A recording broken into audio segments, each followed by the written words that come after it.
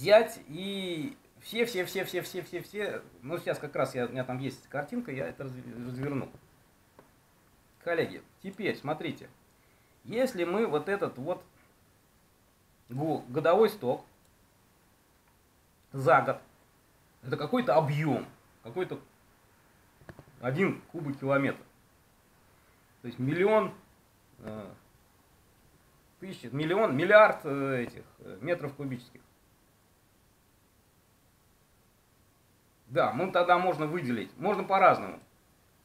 Я что хочу сейчас сделать? Я хочу разделить э, вот этот годовой объем стока, сколько воды притекает в замыкающий створ с водосбора, вот где мы работаем, на маленьком ручье или на большой реке, или где угодно, весь этот годовой, вот этот э, общий сток, я хочу разделить на площадь водосбора. И тогда получится у нас деление или километров кубических на километры квадратные, и тогда получится слой стока, там, в километрах. Ну, мы ему из километров легко переведем в миллиметры, правильно? Разделим на тысячу, получим в метры, разделим еще на тысячу, получим в миллиметры. Вот, то есть разделим то, что получится в километрах на миллион, получим слой стока в миллиметрах. Какие у нас вот типичные слои стоков? Такие вот э, среднем многолетние. То есть пока мы не говорим о максимальных, не говорим о минимальных, а вот в среднем. В среднем за 50 лет на реке Дон, э, там площадь водосбора на Дону, не знаю сколько, ну, например, там 100 тысяч кубов. Э, и объем годового стока тоже 100 тысяч, э, то есть 100 тысяч квадратов, да, на 100 тысяч кубов. Разделим одно на другое, получим не то, получим единицу, неправильно. Мы должны получить одну тысячную. То есть мы должны получить слой стока, ну, примерно 500, 1500 миллиметров. Может быть, даже меньше, меньше, наверное. Где-нибудь 200 миллиметров получим. То есть это такой вот слой. Если мы размажем вот этот годовой, весь годовой, годовой э, э, сток реки Дона на его площадь водосбора, или сток какого-то ручья на его площадь водосбора, средним, средним, средним, средним многолетним, то получим... Так, коллеги, наверное, да, лучше это, там дальше у меня по каждому это своя презентация, поэтому, может быть, лучше идти дальше. Так, теперь, коллеги, если мы разделим вот этот средний многолетний расход воды на площадь водосбора, я уже конспектирую. Вот, если мы разделим Q на, то есть, коллеги, а может быть, пойдем сейчас дальше. Пойдем сейчас дальше. То есть, что такое модуль сток? Модуль сток это сколько стекает в среднем многолетнем с одного квадратного километра. И вот такое вот сложное, смотрите, откуда получается вот такая сложная э, размерность. А потому что мы вот эту, расход, вот это, в литрах в секунду, делим вот на эту, на километр квадратный. Вот литры в секунду делим на километр квадратный – и получаем вот такую сложную размерность э, вот этого модуля стока. Вот. Но вот в таком виде более понятно. То есть литр в секунду это расход, километр квадратный это площадь водосбора.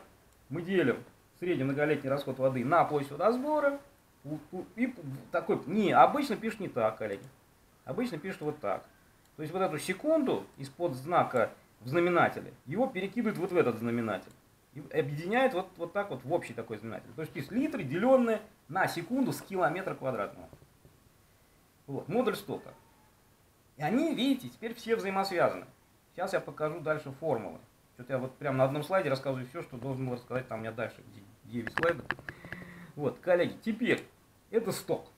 Вот сток, сток это сколько приходит замыкающий створ. Коллеги, а есть еще Смотрите, если мы выразим... А, тогда не так. Смотрите, вот это все одно и то же. Годовой объем стока, слой стока, норма стока, модуль стока. Коллеги, это все одно и то же. Вот. А, мало того, первые три, вот годовой объем стока, слой стока и норма стока, это вообще одно и то же. Это просто вообще одно и то же. Просто выраженные в разных единицах. Или объем, сколько притечет, да, за год. Или за секунду расход.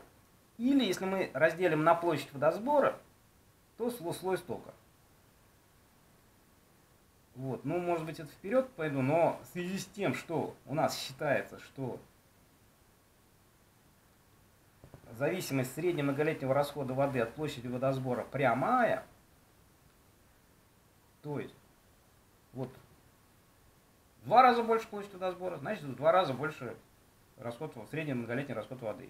В 10 раз больше площадь водосбора, значит в 10 раз больше средний многолетний расход воды. Прямая связь между, между этим. Вот. Э, и она завязана на модуль стока. Потому что модуль стока может быть в разных географических э, районах разный.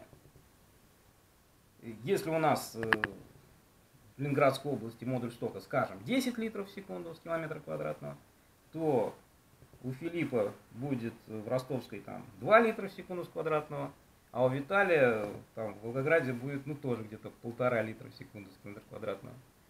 Вот. А в Новосибирске будет там, я не знаю, может быть 8 литров в секунду с квадратного. Вот. То есть вот эти модуль. Для чего нам нужен модуль стока? Для того, что зная модуль стока, модуль стока это такая районная вещь, коллеги. Вот это районная вещь.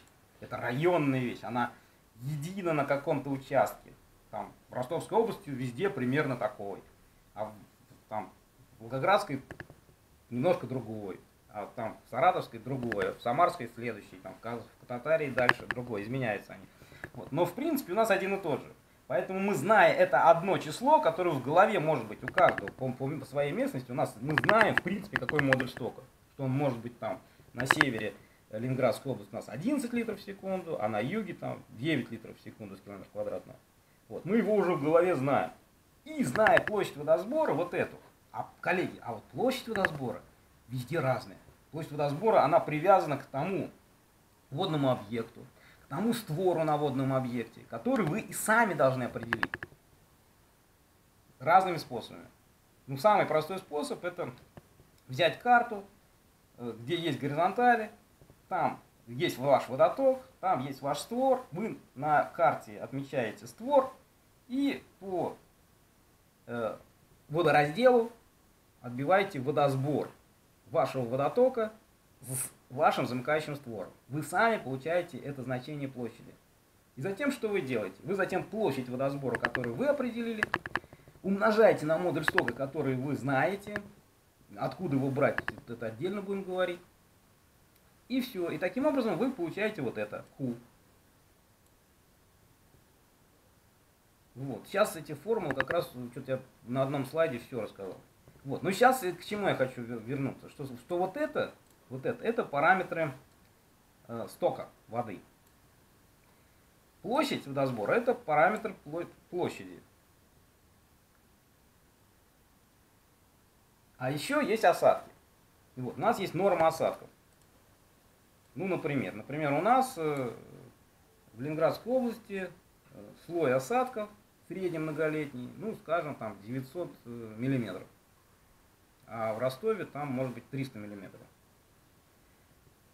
Вот. А у нас в тех же миллиметрах и слой выражается тоже. То есть это в среднем там на всю Ростовскую область, если вот размазать весь дождь, который выпадает за год, среднем многолетнем за все года, то получится слой, скажем, там 300 миллиметров. Это вот это, норма осадков. А если мы таким же образом размажем тот сток, который у нас приходит замыкающий створ дона, и размажем также на площадь водосбора этого дона, то у нас получится 150 миллиметров. То есть это доля. Вот этот слой стока, 150 миллиметров, это половина, ну если 150 разделим на 300, то есть вот этот коэффициент сток, это будет коэффициент стока. Это, коэффициент стока это доля. Доля того той, э, тех, объема того, тех осадков, которые выпадают на водосбор, к объему того стока, который вытекает в замыкающем створе. Это может быть от нуля до единицы. Слой стока всегда половина. Не, конечно, не половина, может быть э, от нуля до единицы. Может быть любой от нуля до единицы. Что значит единица? Единица значит все стекло. То есть у вас какой-то э, заасфальтированная какая-то площадка, вы, у вас там какой-то ручей, не ручей, а канава какая-то и вы собираете сток, например, там с какого-нибудь аэродрома. и у вас вся площадь водосбора равна площади водос- аэродрома. У вас все